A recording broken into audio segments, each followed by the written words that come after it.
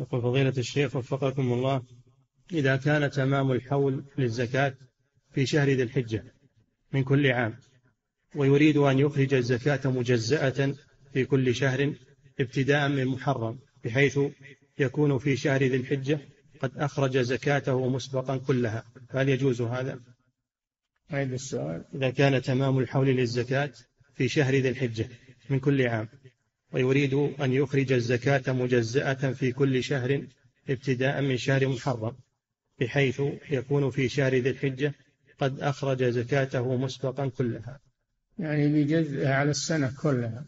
لا الزكاة على الفور. إخراج الزكاة على الفور إذا وجبت ويخرجها في وقتها على الفور ولا يؤخرها إلا لعذر إذا كان لعذر ما عنده دراهم. ينتظر مجيء الدراهم ويخرج. المستحق ما هو بحاضر ينتظره ما في مانع. أما إذا كان لغير عذر لا. نعم.